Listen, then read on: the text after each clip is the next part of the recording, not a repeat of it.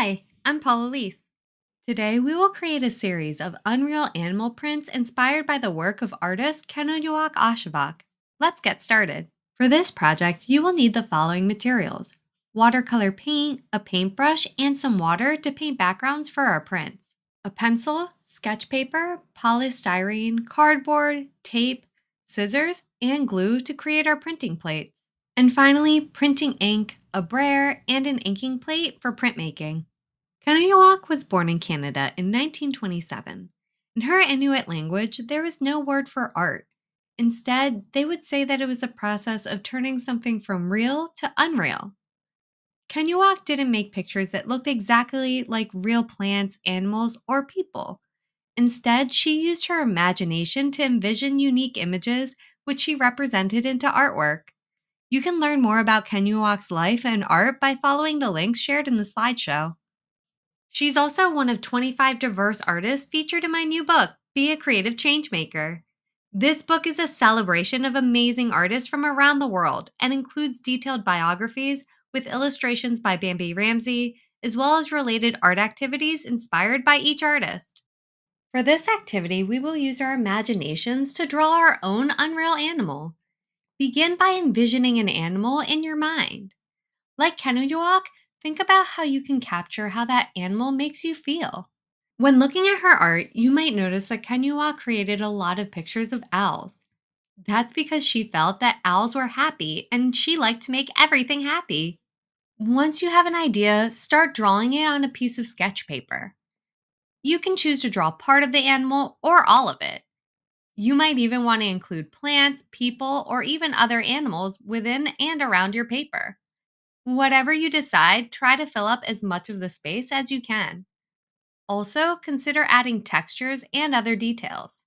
I decided to create an image of a deer that I saw recently during one of my morning runs. To me, deers remind me of feeling strong and full of energy. Once you've completed your drawing, it's time to transfer it onto a sheet of polystyrene. Place your drawing on top of the polystyrene and use tape to attach it to the top.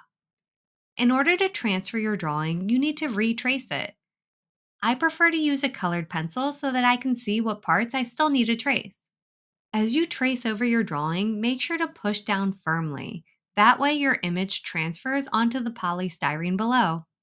Once you've finished tracing, lift your drawing to check that your image has transferred.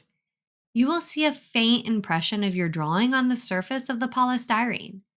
If it's there, you can carefully remove your drawing. Then use a pencil to trace your drawing once more, but this time directly onto the polystyrene surface. Make sure that you push down firmly enough that you can feel the indent with your fingertips. After transferring your drawing onto the polystyrene, it's time to start creating your printing plate. Find a sheet of cardboard similar in size to your drawing.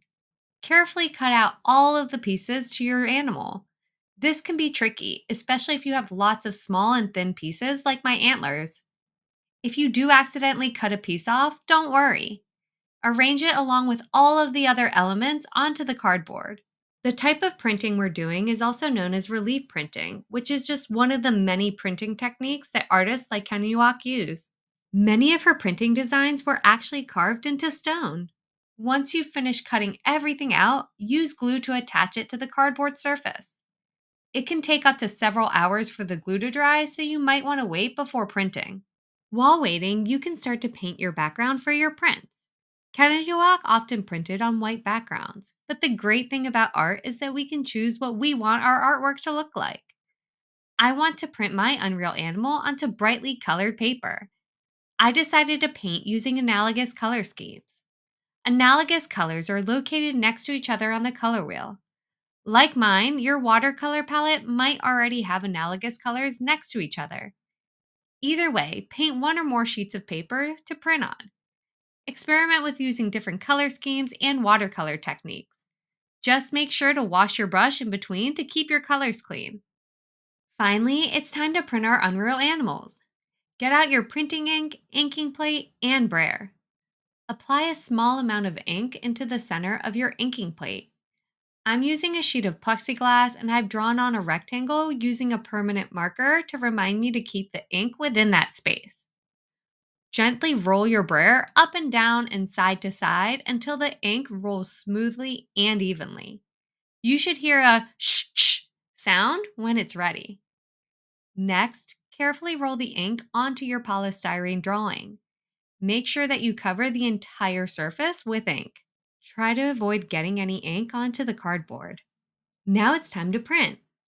Place your paper paint down on top of your printing plate, doing your best to center the image. Then use a baren or your fist to gently rub the back of your paper. Make sure you massage the entire paper so that the ink fully transfers. You can always lift a corner to check. Once the image has fully transferred, gently peel the paper back and place it in a safe place to dry. The great thing about printmaking is that you can make multiple copies of your print. Try printing on different colored papers and choose your favorite one to share. I hope you've enjoyed learning about Kenojuak Ashevak and creating a series of unreal animal prints inspired by her art. Until next time, adios artistas!